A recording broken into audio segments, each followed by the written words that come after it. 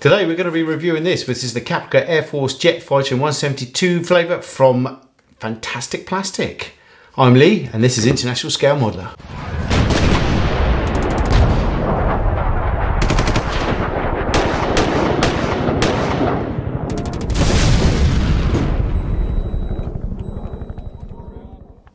Right, okay. Uh, I'm just to we're going to start by saying I've uh, been a fan of fan of Fantastic Plastic for a few years now. I've never bought any of their stuff, um, but they had a couple of things on their website which I just could not resist, and I've been looking at eyeing one of these up for a long time, which is the Caprica Air Force Jet Viper, and uh, I love Battlestar Galactica, so um, very struck a chord with me for sure. They Fantastic Plastic do a lot of short run resin kits um, that you know you're probably not going to get anywhere else ever again sort of thing. And it's a shame because there's some stuff in their back catalogue that i would absolutely love. Um, but uh, you know i thought i'd take the plunge and have a go anyway. I've done some resin stuff uh, not too much i have to say but i have done some resin stuff and obviously you have to work safe with resin and things like that. There are a couple of different types of resin some's more dangerous than others. Uh, but uh, so what we're going to do is do a quick review of this that i bought. It's not a big kit there's not a lot in there i have a quick sneaky peeky in the box. Um, so uh, what we'll do is we'll go over to the overhead as you can see um, and just have a look what's inside the box. It comes in this well packaged box uh, that's uh, solid uh, cardboard. It's got the sticker on the top as well. And you open the button, it's full of peanuts. Um, and uh, in there is the kit. The box that they came in from America was well packaged as well. Uh, so that's that's the, what you have inside the box. There you go. Okay, so um, nice looking box, uh, nice looking artwork, and it literally is just stuck on the box like so. Um, and uh, we've got a bag plastic here. Now this is a 172 model, so it's going to be quite small. And uh, we've also got a decal sheet and some instructions, I think. So what we'll do is we'll go to the overhead and uh, we'll have a look at the instructions first for a change, I think. Uh, and basically, uh, it says here Caprica Air, Air Force Jet Viper, um, Caprica Air Force Squadron number and everything. Let's just zoom you in a bit here. See that a bit better. Um, and basically, it tells you a little bit about the uh, sci-fi Battlestar Galactica and, and everything about it, the, the program that this uh, mod is based with. Use a little bit of safety information with working with resin. Uh, before assembly, soak the pieces for 24 hours in warm water, mixed with mild dishwashing detergent to remove any residual mold release, which is very good advice indeed. Because if you've got some mold release agent on there still, your uh, paint, no matter how much primer you put on, will not settle properly, that's for sure. Um, and then it says to remove all the flash and everything after you've soaked it. So uh, that uh, overnight is a good way, and then just give it a little wipe, I would say, give it a little wipe uh, afterwards. Uh, and then it just goes on to the assembly instructions, which is basically cement fuselage halves, uh, cement in intake panels, cement this, cement that. Um, most people either use a, a, resin glue or an epoxy or um, CA glue. I use CA glue with resin. Um, it's just what I like working with. Um, and over there, then you got so obviously uh, another nine steps. Uh, there's ten steps in total, and the last step is painting uh, and decals. Uh, and as you can see, uh, it just gives you an overall light aircraft grey, doesn't give you a colour caller for any particular types of paints or anything like that. Just says a light grey. So um, you have, with what, what I like about sci-fi, you have a bit of artistic uh, license to decide how you want to do things. I could do that in pink and purple spots if I wanted to. Um, this includes fuel tanks and missiles, control panel pilot seats are matte black, and the J-Bot decals included with the kit are Alps printed and therefore very thin and fragile. Uh, it says here we highly recommend coating the decals with microscale liquid decal film, which is this one here. I have in uh, my uh, micro set and sol uh, holder solution, which you can get from umpretail.com. Um, and uh, so, yeah, obviously you need to learn how to do, use that properly, but it is literally just painting it on, leaving it for a while, and then you have a film on top of your decal. So that's the instructions. Uh, very basic. Uh, I don't think there's going to be too much to the kit by the looks of it, and uh, probably most of it's going to be self-explanatory when you're putting it together anyway.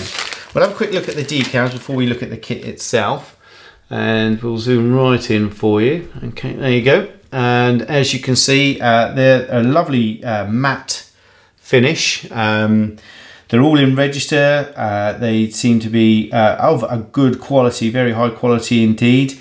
Um, whether they will need a decal film because they literally it looks like they're straight on uh, onto the paper there Um, what I might do is I might take this uh, fantastic plastic bit out first, try that uh, on a bit of styrene, and then see if we can um, uh, work with them without putting the liquid decal film on. I'd rather not if I didn't have to, because sometimes it can dry quite thick. Uh, you have to be very careful how you apply it. Uh, so um, I want to try that first. If I can get away without doing it, then I'll use those. And in fact, if these can go down without the decal film, they'll absolutely just melt onto the model, which would be fantastic. But I would imagine you'd have to be careful about the the, the, solu- the set solution that you use. You couldn't use a too vigorous or aggressive one, that's for sure. Okay, so that's the decals. Um, we're going to zoom this back out again, just so we've got a better view. So now we can have a look at the kit itself. Comes in this plastic bag, as you can see, and I'm up completely unprepared without my scalpel, so I shall get that now. One scalpel. Uh, and uh, let's have a look at the main fuselage. I've been dying to open this bag ever since I've got it, you know, and it's been sat there for like three months because it's been too hot to do any reviews in here. It's been 40 odd degrees. Uh, now, as you can see, we go to the overhead. It comes in two parts. Um, there's no real locking solution um, in there. It does sit on the, let's have a look. Yeah, there's no pins. Ah, oh, there you go. It fits quite snugly actually. There's some uh, bars in the middle there uh, that stop it from moving. So that's quite nice. It's not like guesswork where it's got to go. As you can see, it goes together reasonably well. Uh, if I squeeze those bits together, let's just pop you in a bit more. As you can see, and uh, so that's going to need, what I would do first is I'll just slightly rough that up with a, a rough uh, uh, sanding stick, just to give uh, the um, CA glue some key. Uh, and then you can have a look at this all the way around and you can see how it fits. It's not bad at all, it's going to need a little bit of work, um, as with all resin. Um, but you find another model one of these anywhere and I will take my hat off to you. Uh, so um, that's going to need a little bit of work, as you can see. Uh, as all resin does, it's a little tiny bit of filler, a little tiny bit of sanding, and I would imagine just a very small amount of scribing just on the lines that meet, that meet on the fuselage join there. On the rear, as you can see, got some um, resin that needs to come off and be doctored and everything, but that is uh, part and parcel with resin kits. You're always going to want to, you're always going to have work to do with flash and, you know, extra overhangs and things like that. But that's not too bad at all. And uh, already you can see just from the shape that that looks fantastic, I think. Right, okay. So we're going to have a look at the glass now, the cockpit.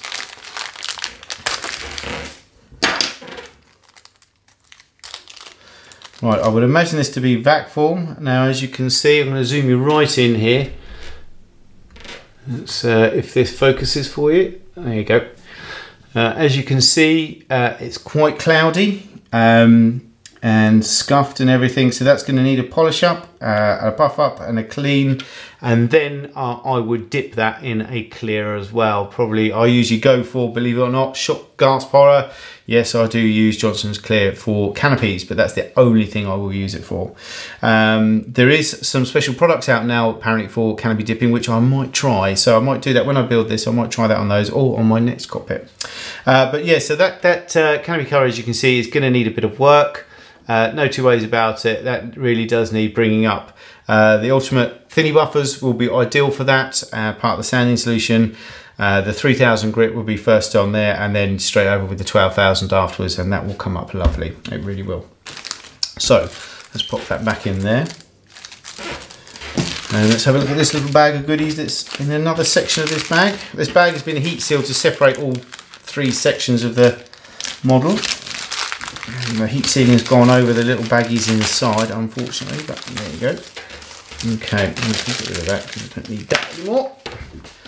Right, so I've got this little baggie here. And just going to zoom this out again. And that's full of tiny little resin pieces. Right, as you can see, quite a bit there. Um, we've got the tail fins, and that is uh, twin tail fins, yeah, either side of the ex uh, exhaust, the jet exhaust. And they look to be uh, very good indeed. In fact, for resin, that's actually very nice. Not, it's literally going to be hardly any work to do there at all, any cleanup whatsoever. In fact, the, even the edges don't need cleaning up on that. So really impressed with that. That's fantastic. So really very good indeed. Uh, you've then got uh, air intake, um, which is in good order as well. I would imagine that fits. Going to be a bit of work, as you can see, taking off this resin on this side here. So that will that whole chunk there would probably, I would imagine, have to come off. Yep, that's this whole whole resin here um, from there downwards, as you can see, uh, and that would you need a, a, good little saw to do that and um, a little vice grip if you can as well as your fingers as well just to help you work with it. Uh, when you're working resin always work on a damp paper towel. So I'll do. That sucks up the sawdust that comes off of it the dust that comes off. Uh, we've got the wing tips here. Uh, again they're very well indeed. The, the describing on them is excellent. You can see a lot of the mold release on there. Um, I don't know if I can get you into see a bit more there you go okay uh, I doubt if it'll pick it up. It might be whiting out a bit, but there is a lot of mold release on there. So you definitely need to soak these bits uh, as the instructions uh, advised. Uh, but they're, they're in good, uh, really nice as well. Uh, I think the tips of the wings have got to come off yet. These little bits here will have to come off. And that's obviously where they've been molded on the resin block. The, fusel, the uh, fuel pods are again in excellent condition, really up, very, I mean hardly any clean up there at all, just a little bit on the edge where they've been connected to the resin block. But apart from that, really nice, really nice indeed. I'm quite impressed with this actually, a lot easier than I thought. Uh, another two uh, fuel pods as well, so that would mean two on each wing I would imagine. Cool. Uh, there's another air intake there as well, or was that the exhaust? Right, so there's two air intakes, so maybe if you make a cock up, you've got a spare one. Or actually, well, there's three. Well, looks like there's three air intakes. Aha, no, those, ah, these are the side intakes, okay, for the jets there. And then you've got the uh, underside intake there, okay. Uh, again, all good register. They're going to need a bit of work to get them off of the block. Uh, you've got the ejector seat, again, which is in good condition as well. It's all very nice. Um, no work needed on it whatsoever. Uh, nozzles, again, no work needed. A little bit of clean up here and there, but tiny, tiny bits for resin. Uh, a little bit of fairing, all nicely molded. Seems quite a durable plastic, uh, quite a durable resin actually. So um, it uh, seems nice indeed. This this light coloured stuff, I believe, is the good stuff. Well, not good stuff, but it's better than the, the dark stuff. Um, you got a little bit on the tail fit on the rear of the missiles here that you'll have to clean up, but apart from that, excellent, very nice indeed, good detail. Um, and then it looks like you've got some side sidewinders there. Again, fantastic detail again, all straight as well, which is nice. Uh, sometimes you get a lot of resin kits and the bits are slightly warped and things like that, but they look to be uh, very straight indeed. Uh, you've then got um, the undercarriage. Again, I can't see any cleanup on that. You know, I mean, this bit here obviously has got to come off. This is obviously where it was attached to the the block, um, but very nice indeed. Again, all very good. Let's look at the wheels front wheels. Okay, no cleanup needed there either. Oh, really good. This is it's getting even better. So you've got the turbines here as well. Um, and nice thing is they've got some little lips there to be able to glue it inside uh, rather than just placing and hoping that it doesn't fall out when you glue it. Um, a little bit of cl no cleanup on there apart from the tabs again. Um, and these look like so, uh, so the wheel well flaps, um, covers. Again, good condition. there's nothing there that I can see uh, that's going to need a lot of work, to be honest with you. Uh, I mean, it's, it's got you've got the little bits that you've got to take off the blocks and things like that.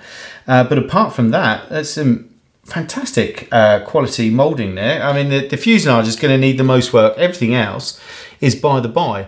And the fuselage, as you can see, uh, that's going to need a little bit of work uh, and clamping. Um, but to be honest with you, as long as you match these circles up here on either side, as long as they match up, and which they do perfectly, uh, you're not going to have a problem. There's not going to be any problems there at all. There's some, some angles you need to, to work on, but to be honest with you, it'll be a case of, uh, with as with any resin kit, you really need to tidy all the pieces up first before you start and test fit. uh, before you even start to use glue or anything like that. Uh, that way you can see before you start putting it together if you have to take a, a bit out of the main fuselage or a bit out of the piece. Um, you do need to work clever with resin because um, it's never all just perfect, that's for sure. But uh, I really like that. I can't remember the price. I've already flashed it up at the beginning, um, but uh, that's going to be uh, really, literally you could probably put that together in a day quite easily, ready for paint. And that'll be one of those literally you get everything together, get the cockpit done first, um, whack the glass on, and away you go. Uh, that will be, you know, that could be done quite easily. And there's not a, it's not a tricky paint job as you can see. It's just a nice grey, um, and uh, it's got panel lines on there. They've accentuated the panel lines on the picture, and I don't care what you say. I like panel line washes, so I'm going to use uh, the UMP Dark Dirt on that and, uh, that's going to come up really nice. And in fact, if I get another one, uh, I might get another one and if, see if I can get this other jet here as well. So, um, so for, that's my first review of a, a, fantastic plastic kit. And in summary, I really like it. Comes well packaged um, in a no frills box, uh, nice solid box, I have to say, very solid indeed. Uh, your kit's not going to break in there. They pad it out enough so it's not going to move around as well. Lots of peanuts in there. They're reasonably well packaged. They're all in separate baggies, what needs to be in separate baggies. Um, it doesn't look like it's going to be hard to put together either. Um, so for me, that's a recommend. Um, I'd be interested to see how it does go together. But to be honest with you, resin kits you can you can see quite easily whether it's going to work or not, and I think that one will. Um, and uh, it's not going to take too long to do and look, I think it's going to look awesome. Um, and it's one of those you might want to put on a stand as well. It looks like it's actually got a slot for a stand on the bottom so be interesting to see if that's the case. Uh, but anyway so that's a thumbs up from me and that's the uh, Caprica Air Force Jet Viper in 172 from Fantastic Plastic which is fantasticplastic.com um, and if you like short run sci-fi stuff uh, myself I am now going to concentrate on sci-fi I've got about 200 uh, tank and aircraft kits that I'm going to put up for sale uh, because I think sci-fi is where I, uh, that's what really gets my mojo, mojo and motivates me to do some work. And I do a lot of 3D, 3D printing sci-fi now as well, and I've been working on that as you can see over my shoulder. Um, but uh, yeah, sci-fi is where I'm at. So I think Fantastic Plastic is going to get a lot of my money in the future from now on. But anyway, uh, that's the end of the review. I hope you enjoyed it. It's a nice short one. Uh, until next time, take care. Bye-bye.